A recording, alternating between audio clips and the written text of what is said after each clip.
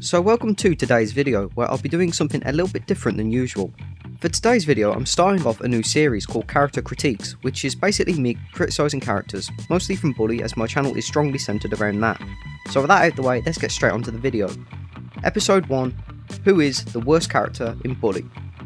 Well, it's none other than Ted Thompson, the jock leader. Now please note this isn't a hate video on Ted or his character, it's more or less criticism on him and how his character was handled by Rockstar.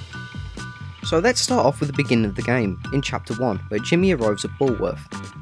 Upon entering the academy, we see loads of posters for Ted and Ernest about an upcoming school election, and to newer players, or at least me when I first played Bully on the PS2, it kind of gives off the impression that these two characters would be main characters and recurrent throughout the story. And to be fair, Ernest was a recurring character, as he appeared in pretty much every single chapter except chapter 2. But Ted only appears in that intro cutscene where Gary introduces the cliques to Jimmy, and then he is seemingly absent from the story until chapter 4, which is understandable since none of the jocks have anything to do with the events that happen in chapters 2 and 3. And even when we finally get a mission involving the election, Ted doesn't even appear. Now this is one of my strongest critiques of Bully, because this whole election storyline is completely and utterly pointless. Once Ernest has finished his speech in the mission The Candidate, that's it, the whole election storyline comes to an end. There was certainly potential here for Ted to be the main character of his own little side story, kind of like how there was a storyline revolving around Mr. Galloway and Mr. Hattrick. But no, this is the last we hear of Ted until chapter 4, excluding the Russell boss fight because you should know I'm talking about story roles, not mission appearances. Anyway, in the chapter 4 intro, we see Ted and Damon bullying Pete, and the confrontation they have with Jimmy, which strongly implies that Ted would be the main antagonist during the events of chapter 4. But Ted doesn't even appear until his boss fight. I guess you can make a very similar statement for Darby Harrington, since Darby isn't seen all in chapter 2. But to be fair, Jimmy wasn't rivaling with Darby at all, instead he was rivaling with Tad Spencer after Gary managed to turn Tad on Jimmy. And also, Darby Harrington has a small role in chapter 3, convincing Jimmy to get revenge on the Greasers for what they did to Gord in the mission Bait. But going back to my earlier point about the whole election thing, Ted could have been a fantastic antagonist during chapter 4 if he won the election and managed to spite Ernest and the rest of the nerds. Like I've always said, Ernest losing the election could have been a great driving point behind chapter 4's plotline, and it certainly would have added a bit more to the story other than we're sick of getting bullied, we just want revenge.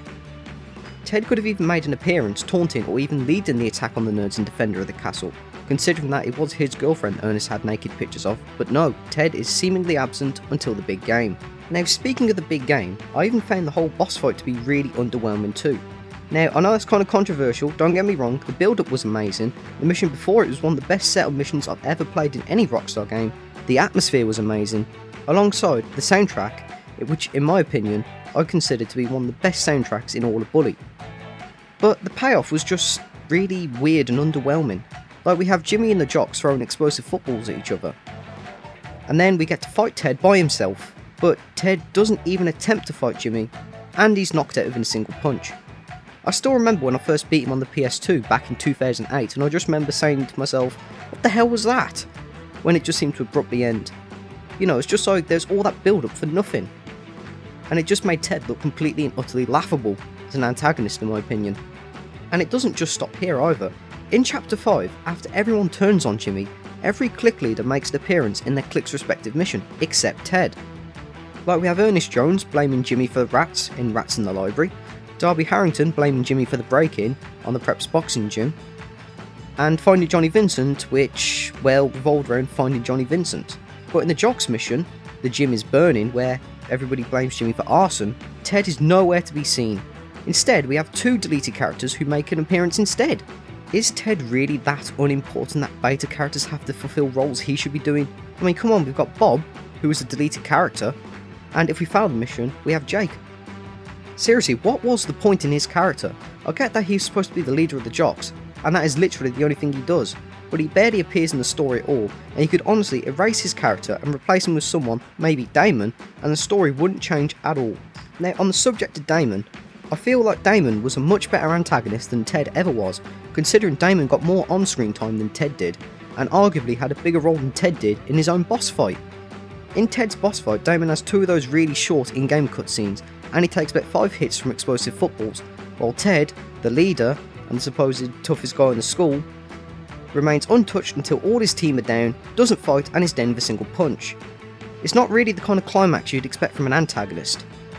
And going back to Damon, when we get introduced to him, his first appearance is him strangling Ernest, which gives the player the impression he is an antagonist, and his second story appearance is him bullying Pete, which solidifies him as a villain, in my opinion.